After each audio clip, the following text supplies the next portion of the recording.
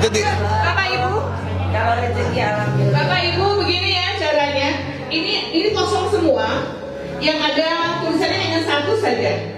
Jadi Bapak Ibu pegang dulu sebelum saya instruksikan buka. Biar seru. Ya, jadi ambil jangan dibuka dulu nih, simpan dulu. Terus saya bilang nanti silahkan buka. Nah, yang yang ada nomornya berarti itulah yang dapat. Karena yang lain kosong semua ya. Jangan dibuka dulu biar seru.